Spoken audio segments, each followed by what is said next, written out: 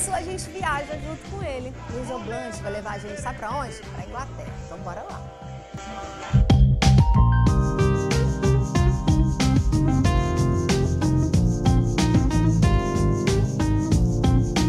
Hoje iremos a uma parte da Inglaterra conhecida como East Midlands, conhecer a pequena cidade de Newark-on-Trent, uma cidade mercantil que está localizada às margens do rio Trento.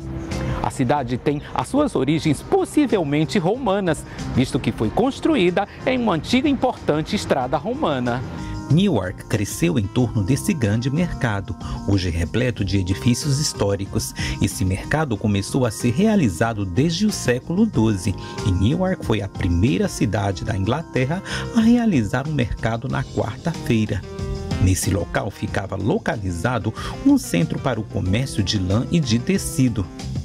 No século XVI, pousadas e tavernas foram construídas dentro da cidade murada para acomodar os viajantes. Outra atração na cidade é a antiga residência dos governadores de Newark, durante os cercos da Guerra Civil da Inglaterra. Esta casa está localizada em pleno centro da cidade. Este edifício de madeira, conhecido como a Casa dos Governadores, foi construído em 1474. Conta-se que o rei da Inglaterra, Charles I, e o seu sobrinho, o príncipe Rupert do Reno, discutiram aqui sobre os planos de batalha durante a Guerra Civil Inglesa, que começou em 1642 e acabou com a condenação de Charles I à morte em 1649 por Oliver Cromwell. O poder do rei foi reduzido, ele reina, mas não governa. Quem governa é o primeiro-ministro, através do parlamento, como atualmente. A Inglaterra é cheia de castelos e Newark não é uma exceção. A cidade cresceu em torno do castelo Newark, que era uma antiga fortificação saxônica. O castelo foi fundado no século XII. O castelo de Newark era originalmente feito de madeira, mas foi reconstruído em pedra no final do século XII. No século XVII, após a Guerra Civil Inglesa, o castelo de Newark foi arrasado e reconstruído no século XIX e possui um belo jardim. Um local muito interessante na cidade de Newark é o Castelo da Bard, que na verdade não é o castelo, e sim uma antiga barcaça que comercializava grãos entre as cidades e foi transformado em casa pública em 1980 e faz parte da cena de bares e restaurantes da cidade.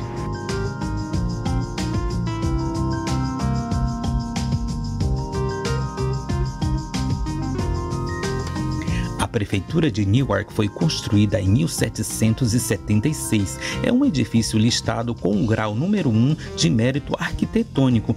Abriga uma coleção de artefatos e uma galeria de obras de arte de artistas locais. Uma figura importante nascida nessa região é a ex-nadadora britânica Rebecca Adleton, que ganhou duas medalhas de ouro. Rebecca foi a primeira mulher da Grã-Bretanha a ganhar o ouro olímpico em 48 anos. Foi nos Jogos de Pequim de 2008. Newark também é famosa por sua escola de concerto e fabricação de violino, na renomada escola Newark School of Violin Making and Repair. São ensinadas tais habilidades. Estudantes vêm de todo o mundo para aprender a fabricar um violino.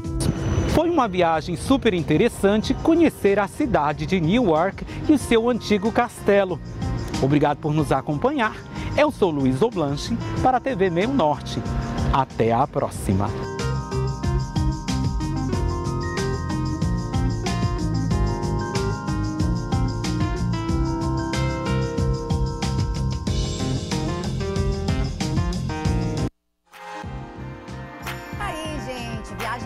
Para começar a semana, delícia, né?